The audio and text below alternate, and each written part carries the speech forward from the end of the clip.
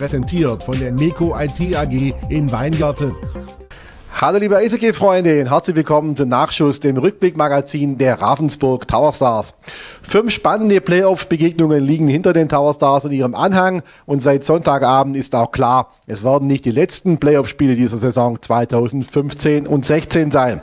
Das Halbfinale ist geschafft und nach zwei Jahren Pause und dem Ausscheiden im Viertelfinale gehört man jetzt also wieder zum Kreis der Top 4 der Liga und darf von den weiteren Saisonzielen ein Stück weit träumen. Wir konzentrieren uns bei unserem Rückblick auch auf das letzte und entscheidende Spiel am Sonntagabend. Beim Serienstand von 3 zu 1 hatten die Tower Stars mit dem zweiten Matchpuck die Chance, alles klar zu machen. Sehen Sie nochmals die wichtigsten Szenen und Highlights aus Spiel 5 Ravensburg Tower Stars gegen den EC Bad Nauheim.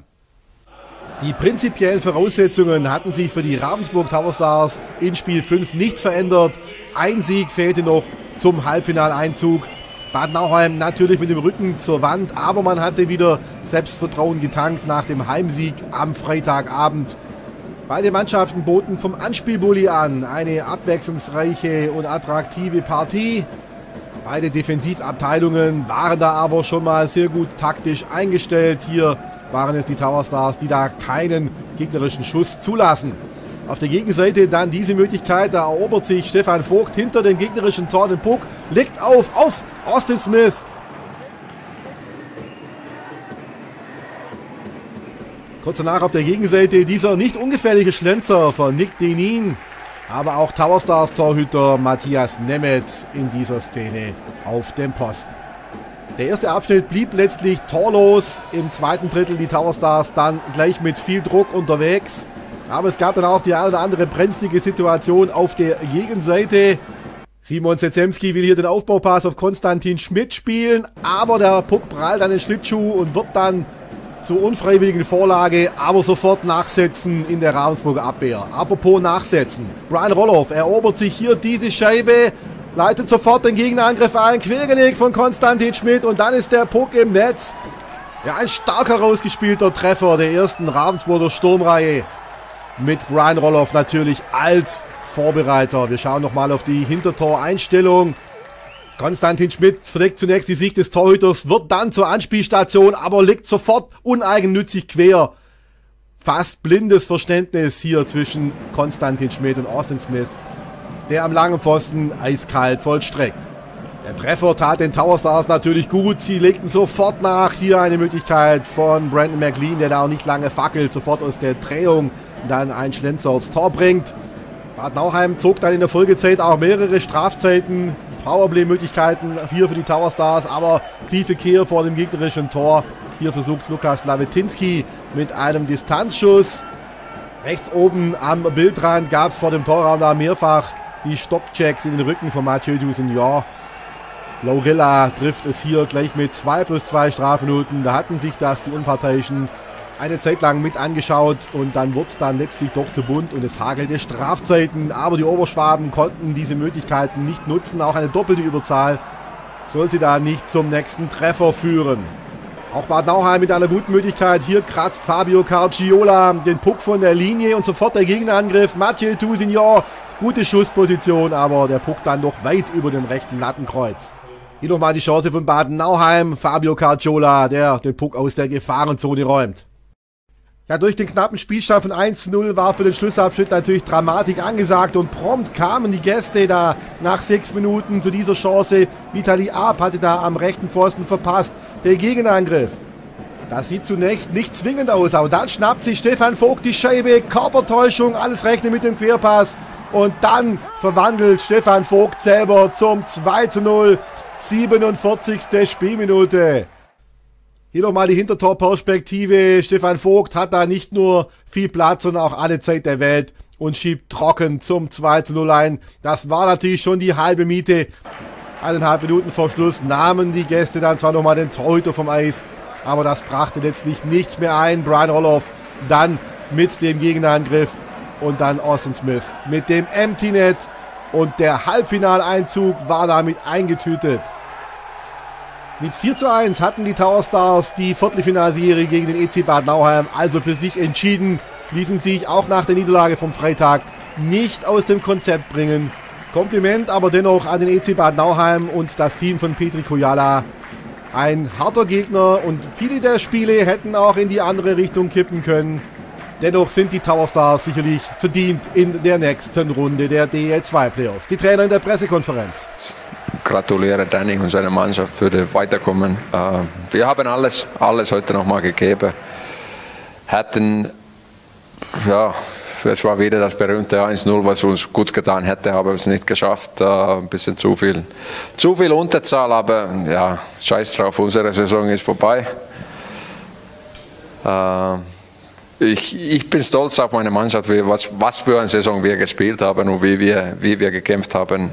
Wir hatten im Prinzip jede Wochenende, jede Wochenende Playoffs und äh, das hat man gesehen, dass wir am Ende vielleicht ein bisschen müde waren. Aber wie gesagt, die Jungs können stolz auf sich sein und äh, ich, bin, ich bin verdammt stolz auf meine Mannschaft, was für ein, was für ein Kampf wir eigentlich über, über 57 Spieltage geliefert haben. Ja, danke, guten Abend. Erstmal danke, Petri. Aber ja, der kann sicher stolz sein auf seine Mannschaft, weil die wirklich hart gekämpft haben. Ich gratuliere ihn äh, für die Serie. Das war, wir haben 4 zu 1 gewonnen, aber trotzdem, äh, es war keine Spiele, die so einfach waren. Wir mussten unbedingt für, für alle Tore hart arbeiten. Äh, zum heutigen Spiel, ich glaube, der Schlüssel war unsere Defensiv. Spiel, also mit, mit Matze hinten. Ich glaube, wir haben insgesamt 17 Schüsse bekommen. Äh, Matze hat die Big Saves gemacht, die, die, die, wir haben auch viele Schüsse geblockt. Also der, der, der Wille zu gewinnen, unbedingt zu gewinnen, war heute da. Äh, ich gratuliere meine Mannschaft, alle Spieler.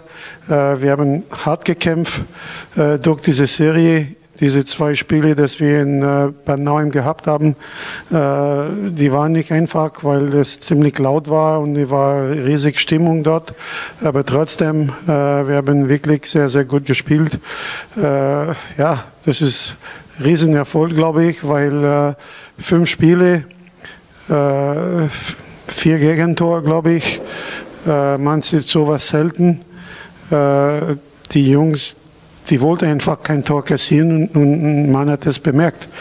Und äh, ja, jetzt geht weiter für uns. Ich glaube, ich hoffe, dass die Jungs äh, hungrig sind für, sind für die nächsten Gegner. Und letztendlich, wir haben Petri seinen Wunsch erfüllt. Er wollte zweimal nach Ravensburg, der hat es geschafft. Und äh, ja, ich glaube, dass wir verdient auch äh, gewonnen haben. Fünf Spiele, vier Siege, drei Shutouts. Und mit dieser beeindruckenden Viertelfinalbilanz gehen wir auch gleich einmal zu einem der Schlüsselspieler der Serie Tower Stars Torhüter Matthias Nemetz. Nicht nur die drei gegentorfreien Spiele in den Playoffs waren natürlich ein absolutes Novum, sondern auch die Safe-Quote war beeindruckend. 96,3 Prozent aller Schüsse konnte der 25-Jährige parieren. Stadionsprecher Markus Heider hat ihn nach dem gestrigen Spiel zu einem kurzen Talk getroffen drei Shutouts in dieser Serie gegen deinen alten Trainer. Petri hat es vorher angesprochen. Was ist das für ein Gefühl? Ja, das freut mich natürlich riesig. Äh, drei Shutouts. Ich habe ja äh, in dieser Saison in der Hauptrunde meinen ersten geschafft.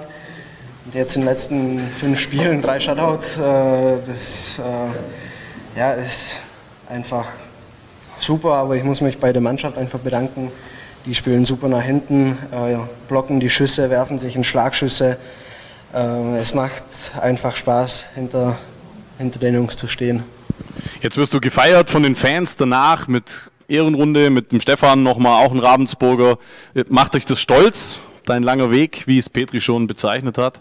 Ja, selbstverständlich. Es war nicht leicht. Wie Petri schon gesagt hat, früher äh, zwei Trainings die Woche gehabt. Ähm, ja, das macht mich natürlich schon stolz. Das, äh, das war immer mein Ziel, äh, hier die Nummer 1 zu sein oder halt hier zu spielen.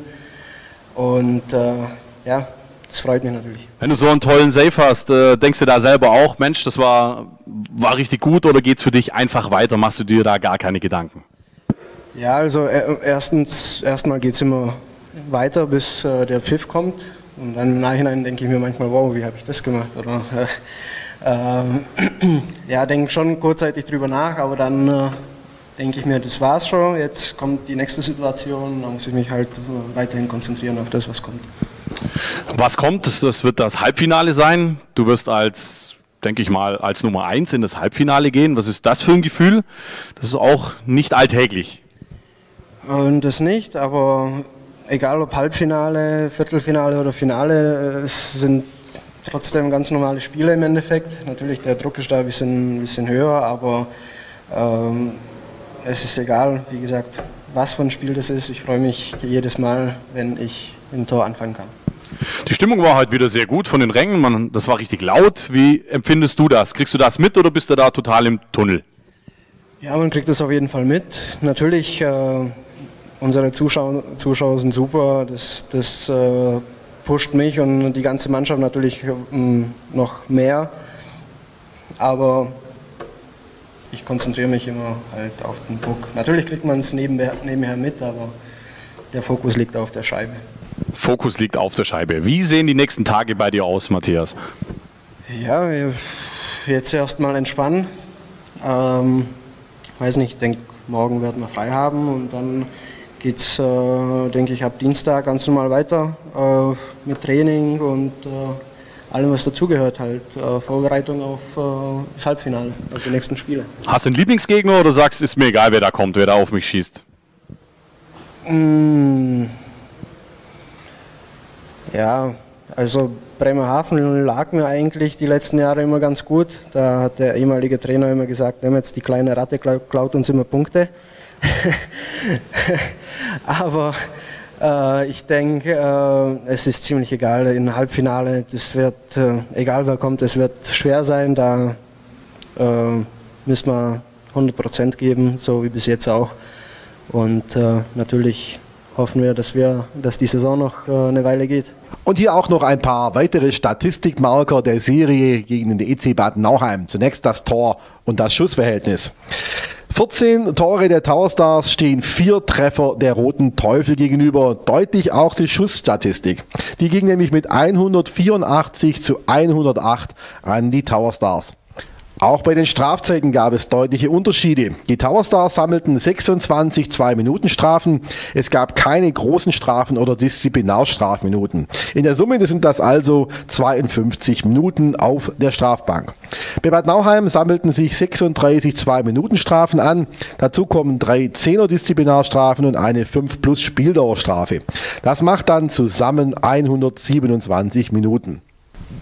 Das Halbfinale ist erreicht, doch der Gegner steht noch aus. Nach fünf Playoff-Spielen haben nur die Tower Stars, Bietigheim und Kassel für die Entscheidung sorgen können. Kassel schoss im hessischen Derby sicherlich mehr als überraschend den Rivalen Löwen Frankfurt mit einem 4 0 Sweep in die Sommerpause. Da für die Zuordnung der Paarungen die Hauptrundenplatzierungen herangezogen wurden und mit Bremerhaven Dresden noch eine Serie nicht entschieden ist, müssen sich die drei Halbfinalteams auf jeden Fall bis Dienstagabend gedulden. Dresden führt mit 3 zu 2 und kann in eigener Halle die Überraschung gegen den Vizemeister und Hauptrundenzweiten Bremerhaven perfekt machen. Noch ist nichts entschieden, aber ein bisschen Vorplanung wollen wir Ihnen dann doch auf den Weg geben.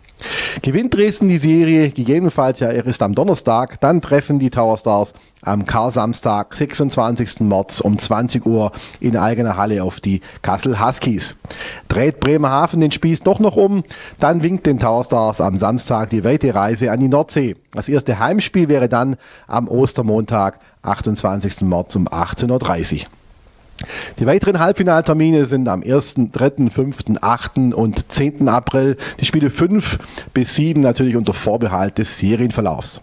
Auch in dieser Serie und später im Finale sind ja vier Siege erforderlich. Der Kartenvorverkauf ist aufgrund der noch ausstehenden Gegnerzuordnung natürlich schwer zu organisieren. Es gibt aber bereits Karten für das erste Spiel. Das wurde ja bereits mit dem Vorkaufsrecht im Viertelfinale bestückt und diese Karten können Sie sich also schon bei allen Vorverkaufsstellen von Reservix im Fanshop in der Marktstraße oder als Print-at-Home-Tickets sichern. Sobald es mehr Informationen gibt, erfahren Sie es natürlich sofort auf www.towerstars.de. Das war's für diese Sonderausgabe zum Halbfinaleinzug. Unsere nächste Sendung gibt es dann nach Ende der Halbfinalserie, wann auch immer das sein wird. Wir wünschen Ihnen dann bis dahin spannende Spiele im Halbfinale. Die jeweiligen Spielberichtsvideos finden Sie übrigens zwischendurch unter www.del-2.org. Danke fürs Zusehen und bis zum nächsten Mal.